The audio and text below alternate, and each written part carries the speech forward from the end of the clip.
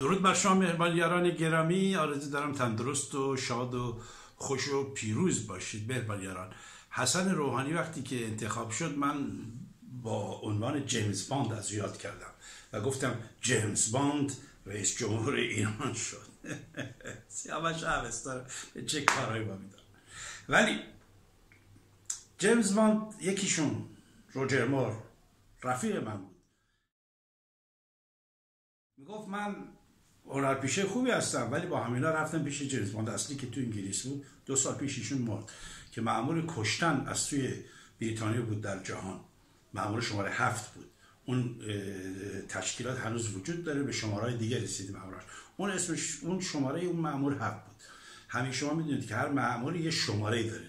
جیمز باند 007 بود که آدم میکش در صد سر جان بره برای دولت انگلیس. به من حسن روحانی رو جیمز باند جمهوری اسلامی خوندم وقتی که انتخاب شد روز نخست. و تا به امروز دیدیم مثل جیمز عمل کرده. چه هم فیلمش بازی کرده هم آدم کش. ایشون چند وقت پیش در یکی از نشستاش که ضبط شده صداشو اطلاعاتی گرفتن گفته که اگه یک لاخ از موی خانواده من یعنی خوب داداش ایشون رو که دزدی کرده پرونده مرونده داره.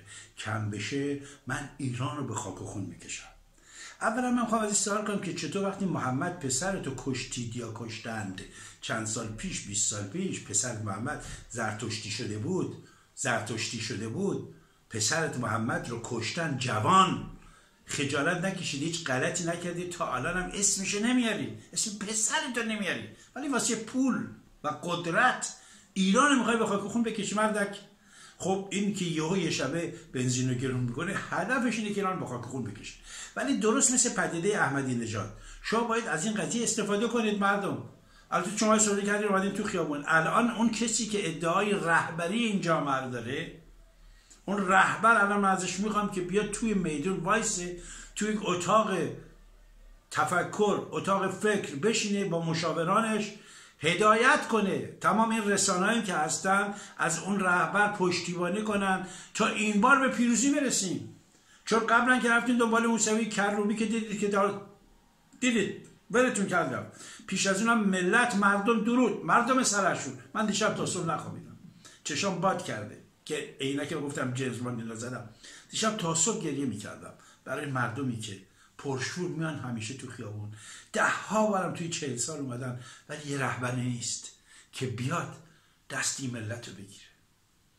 اگرم رهبر می‌خواد بره از میان شیرها گرگها گرازها تاج رو برداره تاج شهریاری رو بلند شه. بلند این کار رو بکنی آخرین فرصت هاست. چون بعدا دیگه خواهید دید. الان آیت الله خمینی گفتن تو لس آنجلس ما شده توسط خانمای و روزنامه تلویزیونایی که فکرش نمی‌کردین پا نشید. نسل کشی ادامه داره. بیچارگی و بدبختی ادامه داره و ما همچنان قربانی 1400 ساله این تازیان حاکم خواهیم بود. مردم برخواستند اگه رهبری ادعای رهبری داره بایستی از چونش مایه بزنی بیاد تو میدون. هر لحظه و هر ثانیه. و یادتون نره تهران هست. شما تهران باید همه جمع بشین. ارگان های قدرت رو بگیرید. شهر به شهر کوچه به کوچه به درد نمی‌خوره. همه نیروها باید در تهران متمرکز بشن. در تهران باید روی تلویزیون اینا رو بگیرن. مجلس و ریاست جمهوری و خونه رهبری و اینا همه رو باید بزنین بگیرین میلیونی می‌تونین به خدا. و اهورا مزدا قسم می‌تونین این کارو بکنید. خب رهبری هم اگه نبود از بین خودتون رهبر انتخاب کنید. این کار بکنید. رسانه های جهان ببینم چیکار می‌کنن از این ملت سرخشور که واقعا دارم به حالشون میسوزه